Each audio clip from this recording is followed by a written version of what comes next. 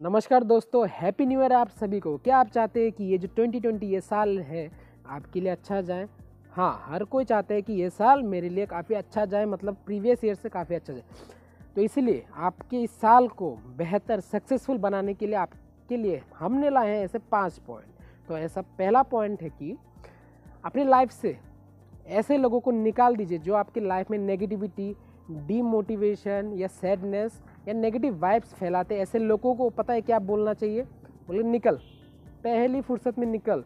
तो अभी साल का शुरुआत है तो इसलिए साल की शुरुआत में ही अच्छा काम करिए और इन जैसे लोगों को निकल, पहली फुर्सत में।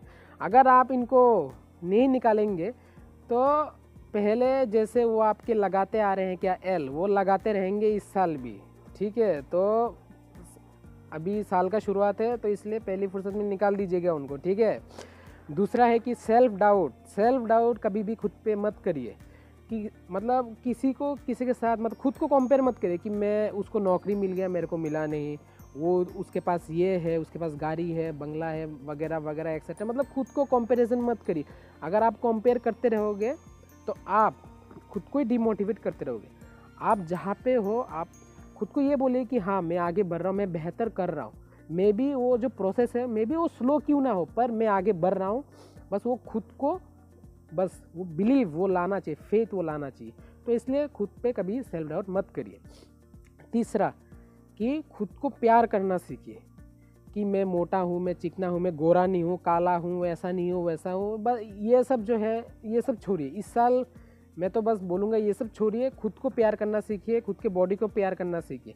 आप अगर खुद को प्यार करेंगे तब दूसरों को भी प्यार कर पाएँगे। फोर्थ पॉइंट जो है आपके लिए कि गलतियों से कभी मत भागिए कि अगर गलती अगर हुआ है, उसे सीखिए। उससे आप सीखिए क्योंकि अगर आप गलती से अगर सीखेंगे तो आने वाले टाइम में आप गलतियाँ कम करेंगे, गलतियाँ कम करेंगे तो आप बेहतर इंसान बन पाओगे। फिफ्थ और जो लास्ट पॉइंट है कि ऐसे हैबिट्स ऐसे गुड हैबिट्स डेवलप करिए जो आपको बेहतर इंसान बनाने में हेल्प करे। अगर जैसे लाइक मैं जैसे एग्जांपल देता हूँ, जैसे जल्दी उठना या बुक्स पढ़ना हो गया योगा मेडिटेशन जिम जाना या कुछ भी फ़िज़िकल एक्टिविटी जो भी अगर आपको गुड हैबिट्स जो आपको बेहतर इंसान बनाए तो ऐसे बहुत सारे ऐसे अच्छे अच्छे आदतें हैं अपने लाइफ में। इस साल वो बनाइए। आप देखिएगा, आप बहुत ही बेहतर इंसान बनेंगे। पिछले साल से जब आप खुद को देखेंगे कंपेयर करेंगे ना, देखोगे कि आप बहुत ही एक बेहतर इंसान बन गए। तो बस यही कुछ पाँच पॉइंट थे जो आपको इस साल, आपको जिताएँगे और आपको इस साल, ये जो 2020 जो साल है, आपको सक्सेसफुल बना के ही रहेंगे।